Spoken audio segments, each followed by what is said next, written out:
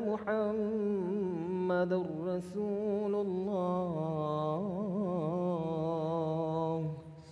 حي على الصلاة. حي على الصلاة.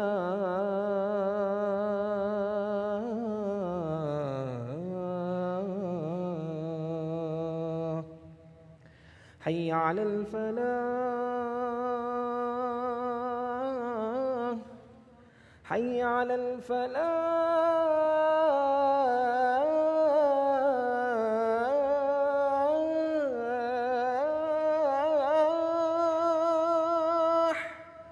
الله أكبر الله أكبر. لا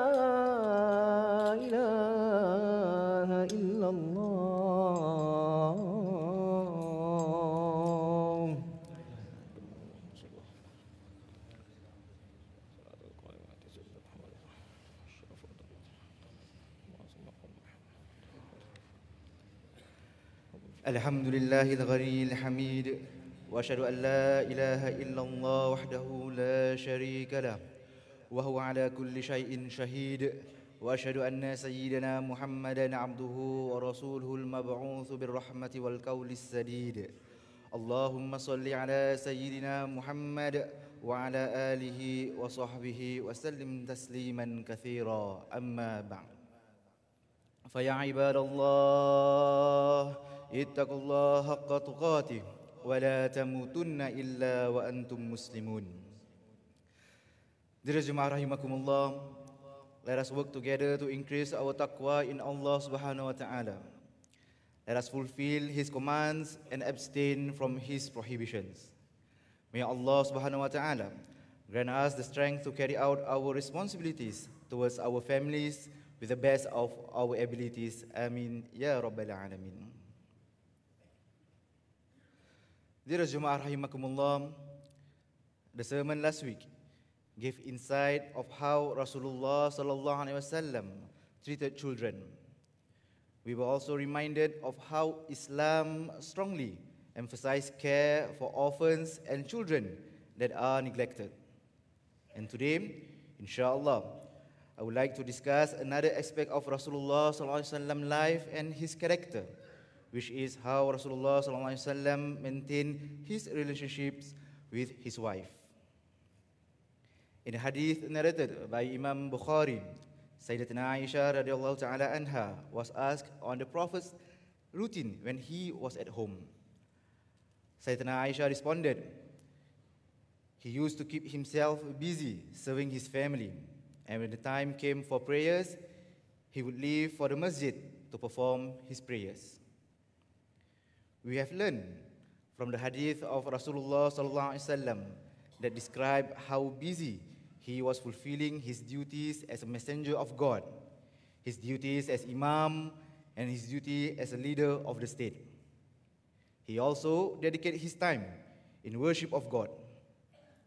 Despite all of that, we have also witnessed how our beloved messenger, Prophet Muhammad sallallahu alaihi wasallam, would ensure the right of his family were well met. Rasulullah SAW will help his family members with the daily household chores. He never, he never felt shame or embarrassed in doing so. It is, a, it is a good example that we should seek to understand and emulate. This is further emphasized in the Quran where Allah Subhanahu wa taala mentioned in surah Ar-Rum ayat 21 ba'udzu billahi minasyaitonir rajim an khalaqa lakum min anfusikum azwajan litaskunu ilaiha wa ja'ala bainakum mawaddatan wa rahmah inna fi dhalika laayatin liqaumin yatafakkarun and of his sign is that he created for you from yourselves mates that you may find tranquility in them. And he placed between you affection and mercy. Indeed, in that are signs for a, for a people who give thought. This verse or this ayah explains the importance of keeping good relation between spouses. We have been entrusted with the responsibility of caring for our wives and ensuring her needs are met as best as we can, and even fulfilling the rights due to them and protecting their safety and their welfare. We are often reminded of this hadith of Rasulullah SAW narrated by Imam Tirmidhi, khairukum khairukum li ahlihi wa ana khairukum li ahli. The best of you are the best to their families, and I am the best to my family. The hadith which I, which I have just said describes the standard we should ascribe in order to assess one's character. Among the ways to assess a person's character and mannerisms is to observe how he treats his family. Just as how the Prophet Muhammad wasallam was within the public eye, he was just as kind, he was just as compassionate, he was just as generous at home with his family. At times, we meet individuals who are more concerned about how they are perceived by the public. They are well mannered with their friends, but they change the minute they step into the privacy of their homes. It is as if they have a split personality. Their behavior, their behavior towards their family is nowhere near the behavior displayed to others. And this is not the akhlaq and the character of a Muslim and this is not what Rasulullah taught us. Unfortunately, there are individuals who neglect their responsibilities as a husband. They do not take heed of Rasulullah reminders. We hear and we read about cases where wives and children fall victim to violence and abuse. In such instances, words of love, compassion, are absent and wives are subjected to threats and abusive words. The family institution that was built with lasting hope that it will remain till paradise has since been shattered and lost all sense of direction because of the husband's irresponsible behavior. Dear Jemaah rahimakumullah, Islam Islam rejects any form of domestic violence, whether it be psychological or physical abuse. Just as we honor our relationship with Allah subhanahu wa ta'ala, we uphold good manners with our friends. We should also strive to preserve compassionate and healthy relations with, us, with those closest to our family. Rasulullah SAW mentions in another hadith narrated by Imam Tirmidhi, Verily, the most complete of believer in faith are those with the best character and who are most kind to their wives. Every person, regardless of their gender, will be questioned in the hereafter regarding their relationship with their family. There is nothing that we have done that was not recorded by the angels. The moment the moment we utter the vows of marriage by saying, I accept her hand in marriage, it is as we have promised to care and to treat our wife well, to accept the responsibility and trust bestowed upon us by Allah subhanahu wa ta'ala. And there is no doubt that Allah subhanahu wa ta'ala will hold us accountable and question us of the trust and responsibilities that He had bestowed us. So today we ask that Allah subhanahu wa ta'ala bless our families and may the family institutions within the Muslim community continue to be strong and give rise to future generation that contribute to our religion and our country. Amin, amin, ya Rabbal Alamin. بارك الله لي ولكم في القرآن العظيم ونفعني وإياكم بما فيه من الآيات والذكر الحكيم. وتقبل مني ومنكم تلاوته إنه هو السميع العليم. أقول قولي هذا وأستغفر الله العظيم لي ولكم ولسائر المسلمين والمسلمات والمؤمنين والمؤمنات. فاستغفروه فيا فوز المستغفرين ويا نجاة التائبين. اللهم صل وسلم وزد وأنعم وتفضل. وبارك وكرم بجلالك وكرامك على زين عبادك. وأشرف عبادك سيدنا ومولانا محمد وعلى آل سيدنا محمد. ورضي الله تعالى عن ساداتنا أصحاب الرسول الله أجمعين.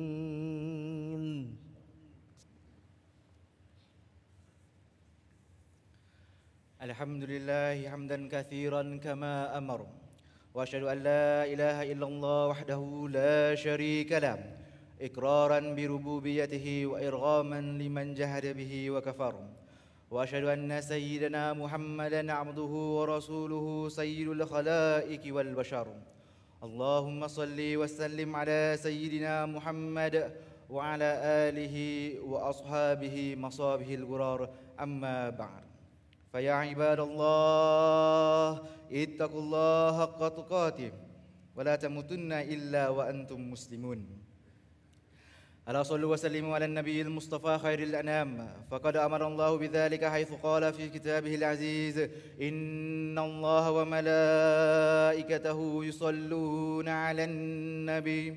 يا أيها الذين آمنوا صلوا عليه وسلموا تسليما. اللهم صل وسلم وبارك عليه اللهم صل وسلم على سيدنا محمد وعلى آل سيدنا محمد كما صليت وسلمت وباركت على سيدنا إبراهيم وعلى آل سيدنا إبراهيم في العالمين إنك حميد مجيد. وارض اللهم عن الخلفاء الراشدين المهديين ساداتنا أبي بكر وعمر وعثمان وعلي. رضي الله عنهم. وعن بقية الصحابة والقرابة والتابعين وتابع التابعين وتابعهم بإحسان إلى يوم الدين وأنا معهم وفيهم برحمتك يا أرحم الراحمين. اللهم اغفر للمسلمين والمسلمات آمين. والمؤمنين والمؤمنات آمين. الأحياء منهم والأموات اللهم أعل بنا كلمة الإسلام وارفع بنا راية القرآن اللهم إنا نسألك أن تفقهنا في ديننا وأن تعلمنا ما ينفعنا وأن تنفعنا بما علمتنا اللهم افتح لنا فتحا مبينا واهدنا إلى صراطك صراطا مستقيما وانصرنا نصرا عزيزا وأتم علينا نعمتك وانشر علينا رحمتك وأنزل في قلوبنا سكينتك. ربنا ربنا لا تزغ قلوبنا بعد إذ هديتنا وهب لنا من لدنك رحمة إنك أنت الوهاب. ربنا آتنا في الدنيا حسنة وفي الآخرة حسنة وقنا عذاب النار. عباد الله إن الله يأمر بالعدل والإحسان وإيتاء ذي القربى وينهى عن الفحشاء والمنكر والبغي يعظكم لعلكم تذكرون فاذكروا الله العظيم يذكركم واشكروا على نعمه يزدكم واسأله من فضله يعطكم ولذكر الله أكبر والله يعلم ما تصنعون. الصلاة.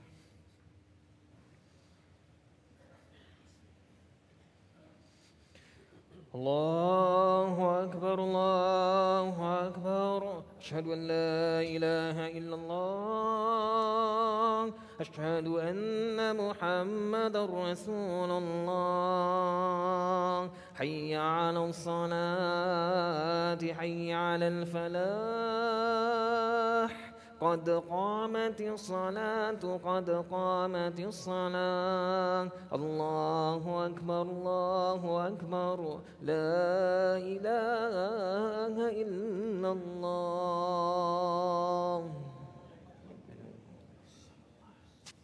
استووا استووا صفوفكم فإن تسوية الصفوف من تمام الصلاة Dear Jama'ah, please keep yourself close and straighten your rows and please fill the row in front of you to make more space for our brothers who will be rowing later. Para jemaah yang dirahmati Allah, dapat dapatkan barisan dan luruskan saf dan harap dapat matikan atau salingkan handphone supaya tidak mengganggu ketenteraman solat. Tarasu wa atadilu wa khsha'u fi solatikum yirhamni wa yirhamkumullah.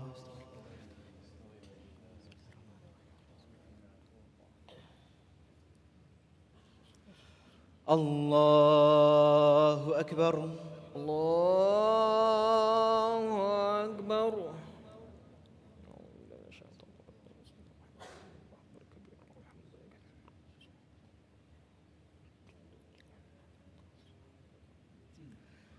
بسم الله الرحمن الرحيم الحمد لله رب العالمين الرحمن الرحيم مالك يوم الدين إياك نعبد وإياك نستعين اهدنا الصراط المستقيم صراط الذين أنعمت عليهم غير المغضوب عليهم ولا الضالين.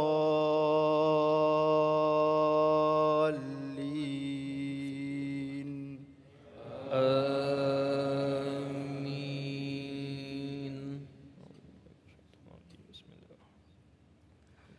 بسم الله الرحمن الرحيم. سبح اسم ربك الأعلى. الذي خلق فسوى والذي قدر فهدى والذي أخرج المرعى فجعله غثاء أحوى. سنقرئك فلا تنسى إلا ما شاء الله. إنه يعلم الجهر وما يخفى ونيسرك لليسرى. فذكر إن نفعت الذكرى. سيذكر من يخشى ويتجنبها الأشقى.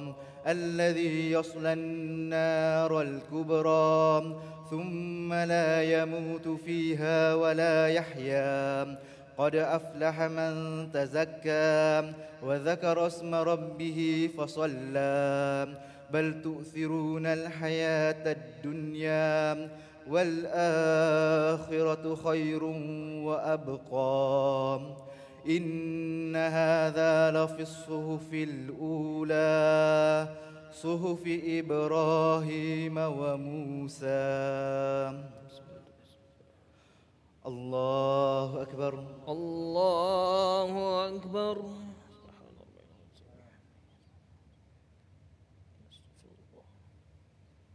سمع الله لمن حمده. ربنا ولك الحمد.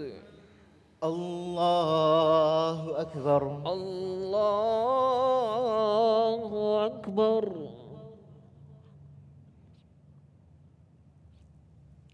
الله أكبر. الله أكبر. الله أكبر. الله أكبر.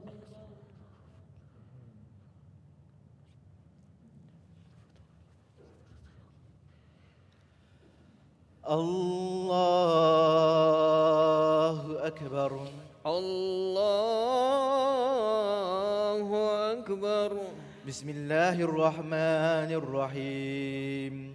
الحمد لله رب العالمين. الرحمن الرحيم. مالك يوم الدين. إياك نعبد وإياك نستعين. اهدنا الصراط المستقيم. صراط الذين أنعمت عليهم. غير المغضوب عليهم ولا الضالين. آمين.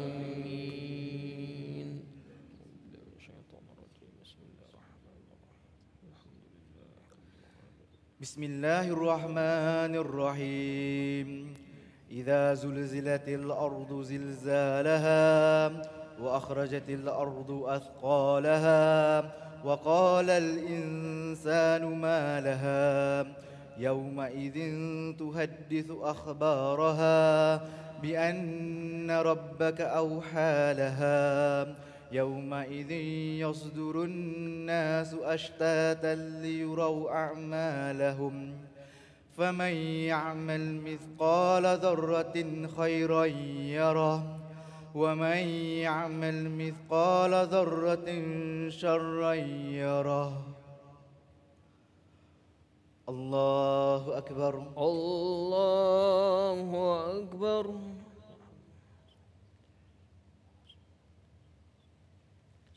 سمع الله لمن حمده. ربنا ولك الحمد. الله أكبر. الله أكبر. الله أكبر.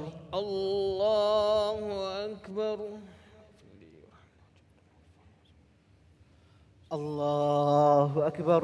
الله أكبر.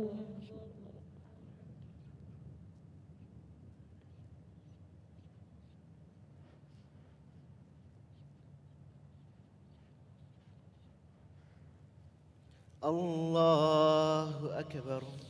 الله أكبر.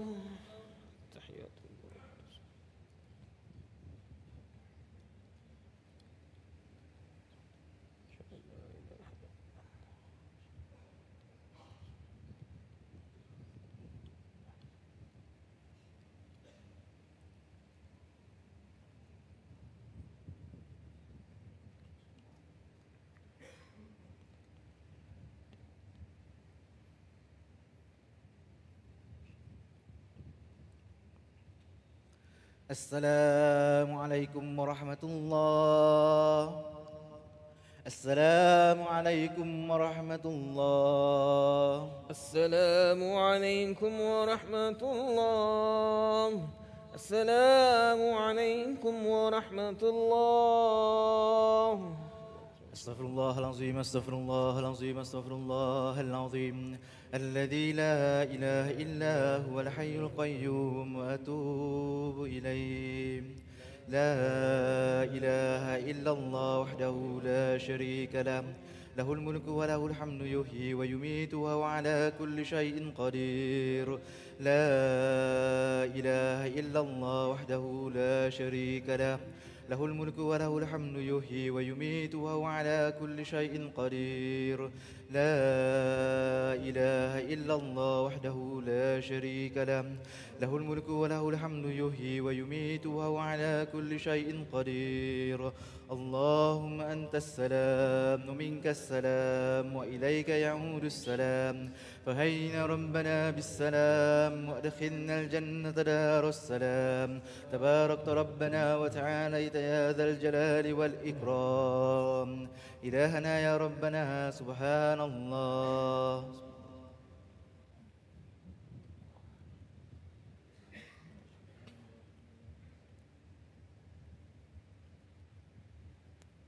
سبحان الله وبحمده دائما أبدا الحمد لله.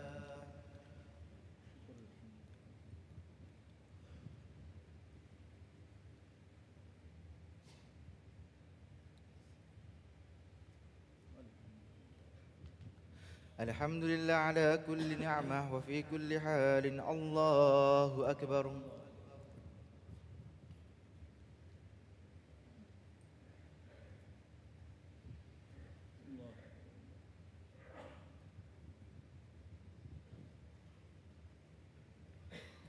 الله أكبر كبيرا والحمد لله كثيرا سبحان الله بكرة وأصيلا. لا إله إلا الله وحده لا شريك له له الملك وله الحمد يحيي ويميت وهو على كل شيء قدير. ولا حول ولا قوة إلا بالله العلي العظيم. أستغفر الله العظيم. أعوذ بالله السميع من الشيطان الرجيم. بسم الله الرحمن الرحيم. الحمد لله رب العالمين والصلاة والسلام على أشرف الأنبياء والمرسلين سيدنا محمد وعلى آله وصحبه أجمعين. اللهم إنا نسألك العفو والعافية والمؤافاة الدائمة في الدين والدنيا والآخرة. اللهم أحسن عاقبتنا في الأمور كلها وأجرنا من خزي الدنيا وعذاب الآخرة. اللهم إنا نسألك من الخير كله عاجله وآجله ما علمنا منه ما لم نعلم ونعوذ بك من الشر كله عاجله وآجله ما علمنا منه ما لم نعلم. اللهم اجعلنا من الناجحين والفائزين والمفلحين في كل امتحاننا في الدين والدنيا والآخرة. اللهم اغفر لنا ولوالدينا وارحمهم كما ربونا صغارا. ربنا هب لنا من أزواجنا وذريتنا قرة أعين واجعلنا للمتقين إماما. ربنا آتنا في الدنيا حسنة وفي الآخرة حسنة وقنا عذاب النار.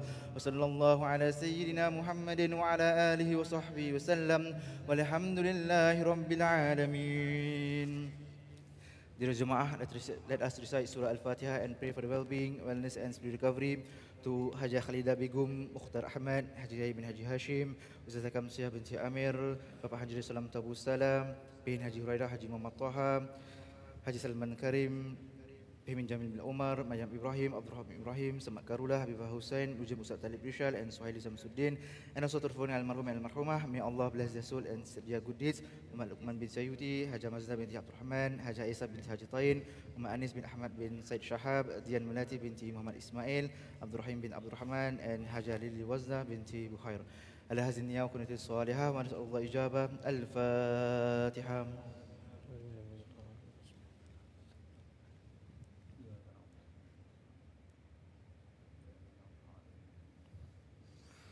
آمين آمين آمين يا رب العالمين. ربنا تقبل منا دعانا إنك أنت السميع العليم. وتب علينا يا الله يا رحمن يا رحيم. إنك أنت التواب الرحيم. واختم صالحات أعمالنا وأهجالنا يا الله يا كريم. صلى الله على سيدنا محمد وعلى آله وصحبه وسلم. وآخر دعوانا الحمد لله لله رب العالمين. اللهم منا ومنكم